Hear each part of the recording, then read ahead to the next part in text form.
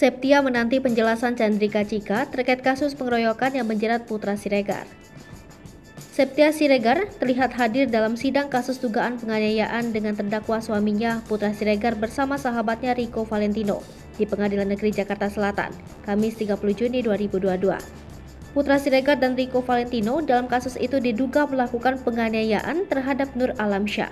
Septia Siregar mengakui kehadirannya dalam persidangan Putra Siregar karena ingin mengikutinya serta mendengar penjelasan dari para saksi.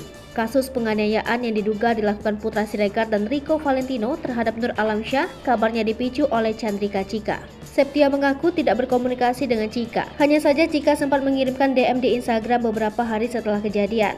Septia Siregar berharap Chandrika Cika menjadi saksi persidangan untuk meningkatkan proses hukum yang dijalani Putra Siregar.